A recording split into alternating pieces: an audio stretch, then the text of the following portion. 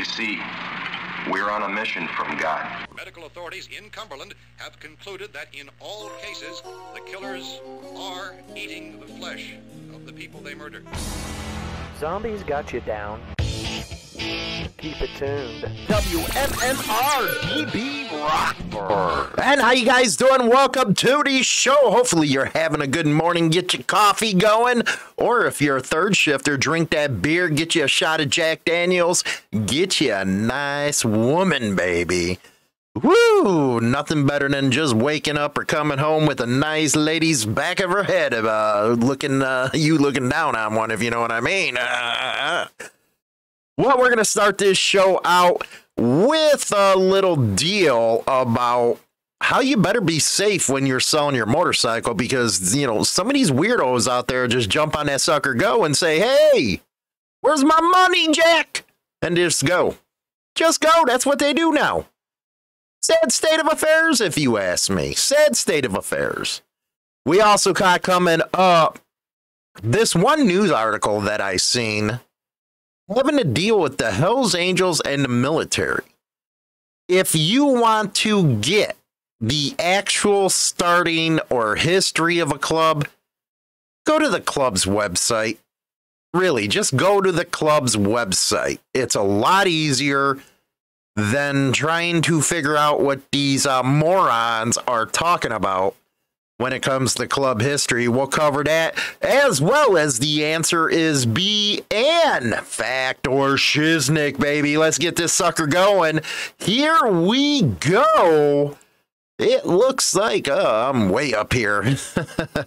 Bystanders restrain man who drove his truck into Harley Davidson dealership in Woodstock. This is right down the road from me. What the hell happened here? I didn't hear about these things.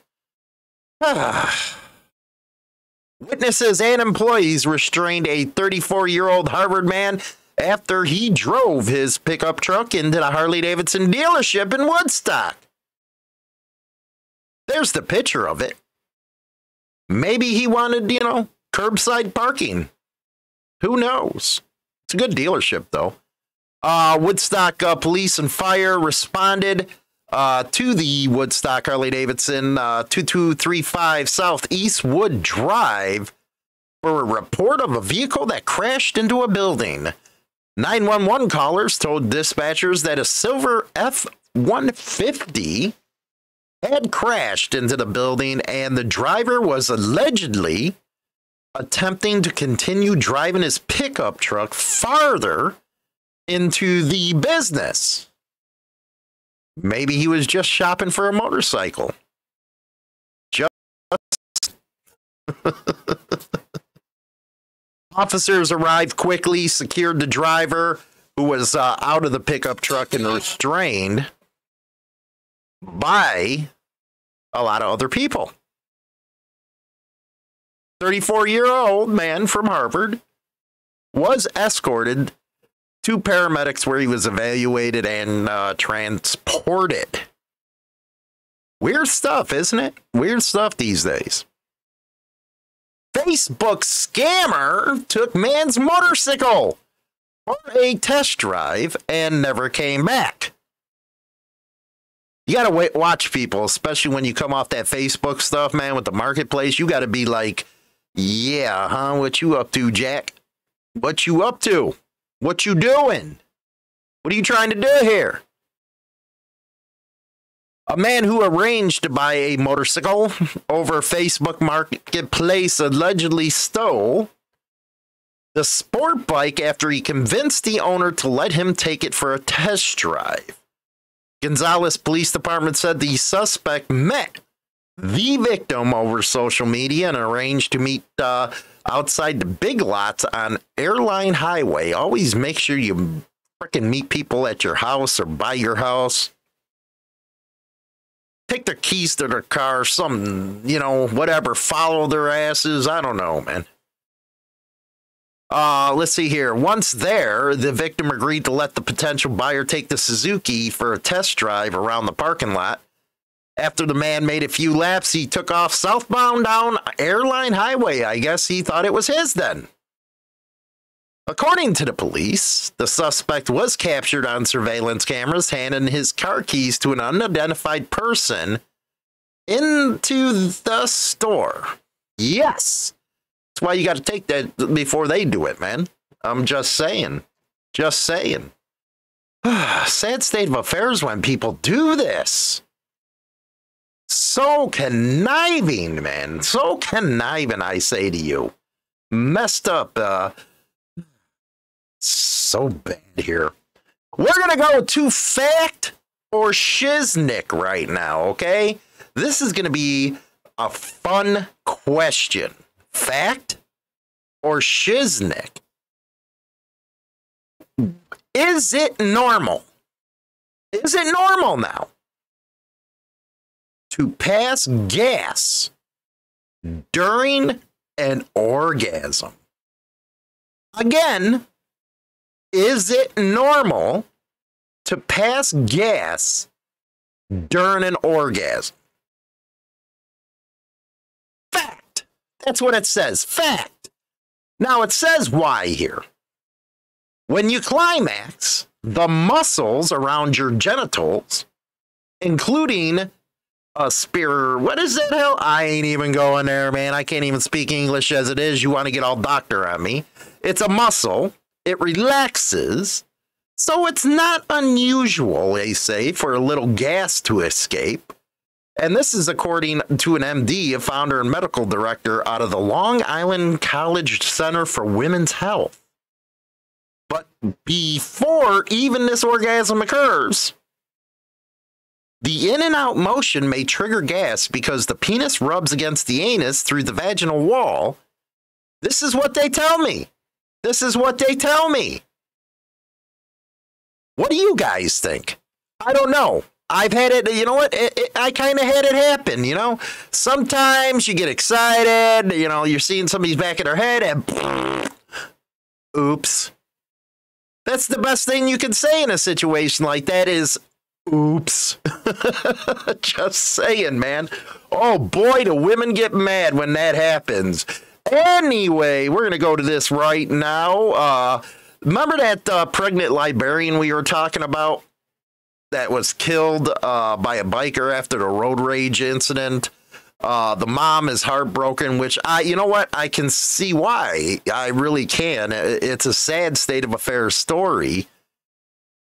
And there hasn't been any charges uh, laid. Let's see here. Sarah Morales, a pregnant woman of 11 year old, was shot and killed after bringing a gun out of her Florida home. Where bikers who followed her were standing, the biker claimed he shot the pregnant librarian in self defense and has not been charged. See, this wasn't an unavoidable type of deal, if you ask me. Yeah, she left the scene of the accident, get her license plates, all that good jive. But why did you have to follow her to her house? So there's a lot that can be said about this incident, if you ask me. Now, it goes on to say the mother of the pregnant librarian who was shot and killed following a road rage incident told Inside Edition she's heartbroken that no one has been charged in her daughter's death. she quote she was probably thinking if they see I have a gun, they're gonna back off. The incident on the late November day, and we covered this, that led to the expectant mother's death began when police said Sarah intentionally bumped into a biker with her car. Quote, this woman hit me with her car and fled the scene, and me and two other people chased her down. The entire drama played out in a series of 911 calls. And it goes on to say, I'm being followed by three men to my home. The panic in Sarah's voice was apparent as bikers followed her to her home outside Orlando. Quote, I told them to stop and leave me alone, and they won't stop following me. They're following me to my house now, actually. Now, I can see being pissed off and stuff like that, but at the same time, just get her license plate. This was a sad state of affairs all around You know, I you know the articles in the description box. You guys can check it out. There's a video and stuff. I'm not going to play the video, but uh, check it out. It's uh, Inside Edition, Sad State of Affairs. Now, this was the story I was telling you guys all about. The real story of the Hells Angels biker gang and the military. This out of WeAreTheMighty.com by Blake Stilwell. Anybody with the name Blake and a picture like that, would you really listen to anyway? Not me goes in to talk about how the Hells Angels was founded in areas of Fontana, San Bernardino, California, 1948. From there, the club grew exponentially, becoming one of the largest. We all know that. It talked about uh, Gimme Shelter, a 1970 documentary uh, about a riot during a Roller, Rolling Stones concert. Yeah, we all know about that one. But then at least they do tell some truth, you know, because the Hells Angels wasn't started out of a bomber group. And again, go to the club's website to learn it all. You know, there was one person, I think it was Arville, that was associated with that bomber group, but he never became a member or anything. I look at the pissed off bastards of uh, Bloomington's uh, history. One of theirs actually, uh, you know, started the Hell's Angel deal. And you got to remember back then, there was all kinds of different chapters of the Hells Angels. It wasn't one cohesive type of deal until later on. And there's some pictures of the bombing group right there.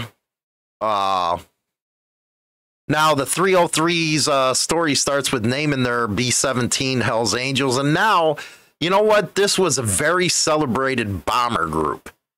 Very, very much heroes of this country. And you got to give it to the Hells Angels.